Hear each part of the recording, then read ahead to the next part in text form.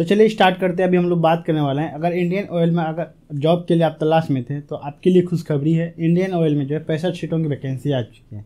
इसका age limit क्या है, क्या क्वालिफिकेशन है, क्या फ़ी लगेगा, मैं सारा चीज़ बताऊँगा। यहाँ तक कि जो है डिस्क्रिप्शन में जो है नोटिफिकेशन का लिंक और अप्लाई का लिंक दोनों का लिंक दे देंगे। इससे क्या होगा नोटिफिकेशन को सही से पढ़ने के बाद ही फॉर्म को आप अप्लाई करेंगे।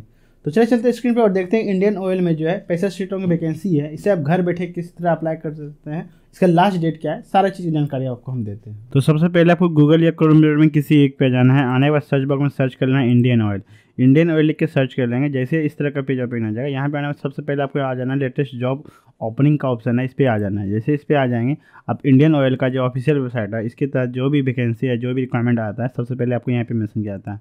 मैं आपको बताने वाला हूँ कि अभी जो इंडियन ऑयल के तहत जो है पैंसठ सिस्टों की वैकेंसी आ चुकी थी। इसका लास्ट जो है डेट अब बहुत जल्द आने वाला है।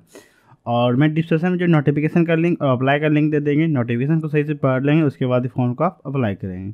उसके बाद अभी नोटिफिकेशन जानने के लिए वाकई में पैंसठ सीटों में वैकेंसी है या नहीं फ़ी क्या लगेगा और एज लिमिट क्या है लास्ट डेट क्या मैं सारी जानकारी दूँगा। उसके लिए सबसे पहले आपको फ़र्स्ट में मेंशन किया गया, इस पर क्लिक करना है इस पीडीएफ पे। जैसे इस पीडीएफ पे क्लिक कर लेंगे, आपको यहाँ सारी जानकारी ओपन हो जाएगा। डिस्क्रिप्शन में इस पी का लिंक हम दे देंगे।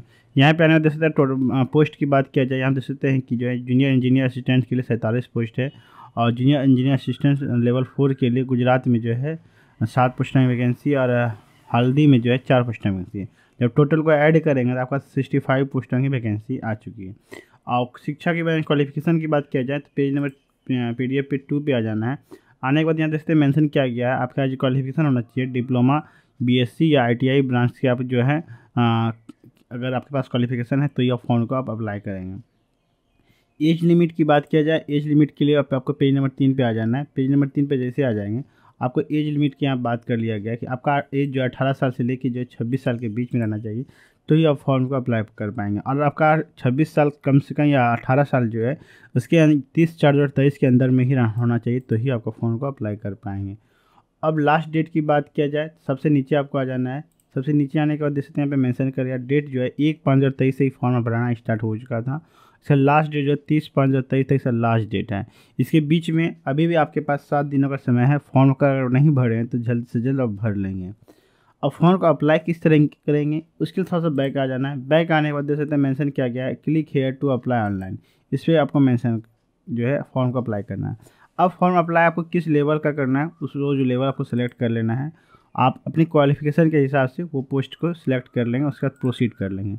जैसे प्रोसीड कर लेंगे आप यहाँ मेंशन कर लिया गया है, गुजरात या हाल्दिया। इसमें से फ़ीस सेलेक्ट कर लेंगे, उसके बाद जो आपको प्रोसीड कर लेना है। जैसे प्रोसीड कर लेंगे, यहाँ अप्लाई ऑनलाइन का ऑप्शन मेंशन किया जाएगा। अप्लाई ऑनलाइन पे क्लिक कर लेंगे। जैसे अप्लाई ऑनलाइन पे क्लिक करेंगे, फिर से आपको जो है यहाँ से नेक्स्ट कर लेना है। जैसे यहाँ से नेक्स्ट कर लेंगे, यहाँ से फॉर्म भरने का ऑप्शन आपको आ चुका है। आपको सारी सारी जानकारी सही सही भर लेना है फ़ोटो अपलोड कर लेना है। जो भी मांगा जाएगा, वो मांगने के बाद सबमिट कर लेंगे। अगर जो भी फ़ी की बात अगर अभी तो कहीं मेंशन नहीं किया गया था, अगर फ़ी लगता है तो आप देख लेंगे, वरना फ़ी तो ऐसा कुछ तो मेंशन नहीं किया गया है, ठीक है?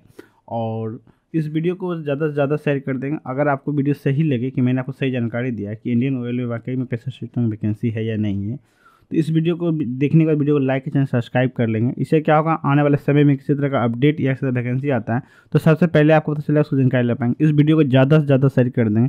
ये वीडियो वैसे लोग तक पहुँचा देंगे, जिनको जॉब की ज़रूरत है और जिनको जॉब के बारे में पता नहीं चल पा रहा है कि कौन सी वैकेंसी या कहाँ से आ रही है, नहीं आ रही। अगर इस वीडियो के माध्यम से उनको पता चल जाएगा वैकेंसी आई है तो फॉर्म को अप्लाई कर पाएँ तो मिलते किसी और वैकेंसी के साथ। धन्यवाद।